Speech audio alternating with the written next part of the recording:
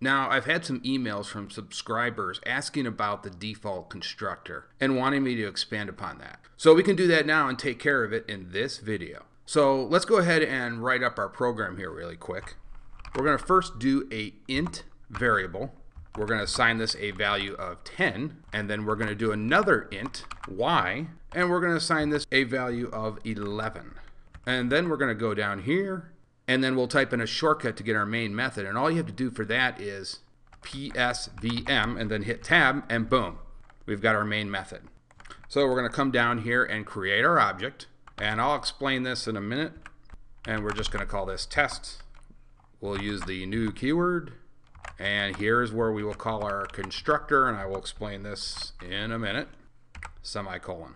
And then we can do a system.out.print. Now a shortcut for that is sout hit tab, and there you go. And we're going to print out this variable x. Great. So here we go. Take a deep breath, guys. So this is the default constructor right here. Now, when we came in here, we had to tell the class that we were going to base our object off of, which was new empty. And of course, this is the class we're basing it off of, so we write in new empty right here.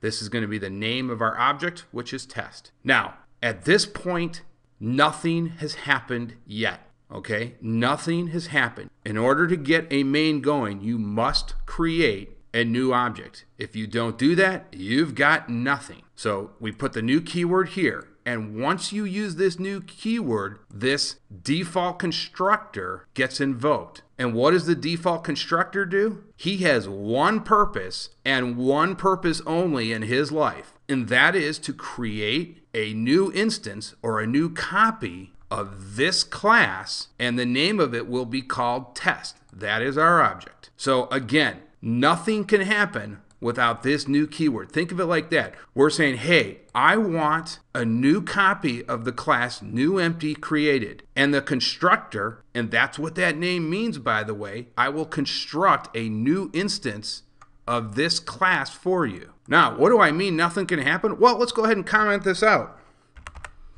Whoops, this isn't going to work now, right? We can't do anything because our object is not even going to be created.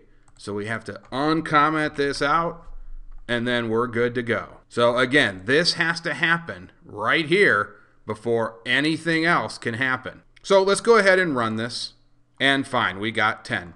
We didn't use Y, that's fine. That can just sit there by its lonesome. We could go ahead and use that later if we want. And we will use that later. So let's close this out. Now, the question some people are having is, where is this constructor? In other words, people have emailed me and asked me, where is it? In your previous examples, it was typed out up here. And the answer to that is, you don't need to type out the constructor up here.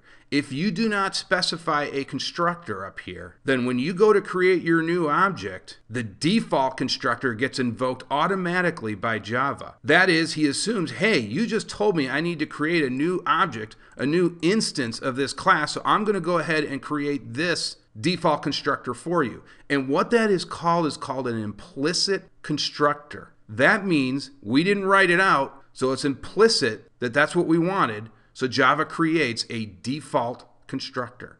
Now, when you use the default constructor, you cannot use anything between these parentheses. It is called a no argument or zero argument constructor. That means we can't put any values in here. Therefore, we have to either create the value here assign it here, or you know you can go ahead and use your object to assign a value. If we click this, you know we could we could go x equals 12. You know, you get the idea. We're not going to do that here though. You get the idea. Now, so what I said was this was an implicit constructor that we did not type out up here. Now, let's go ahead and type that out up here. And let's say public new empty and so there we go. We typed this out. This is called an explicit constructor. By the way, this constructor is the same as this constructor. We just decided to go ahead and type it out. So Java sees it here and says, fine. In fact, if we run this, we'll get the same result, which is 10. There is no difference between this one and this one. The only difference is we decided to go ahead and type this out. Now we could go ahead and place the value of this variable down here. So watch this. Let's get rid of this. And let's now say inside this constructor, it equals 10. And we'll go ahead and run this, and we should get the same result, 10. Now, what happened here? Well, okay, we basically said when we create this new instance of this class, I want you to go ahead and assign this value of 10 to this variable at the time that this new instance of this class new empty is created.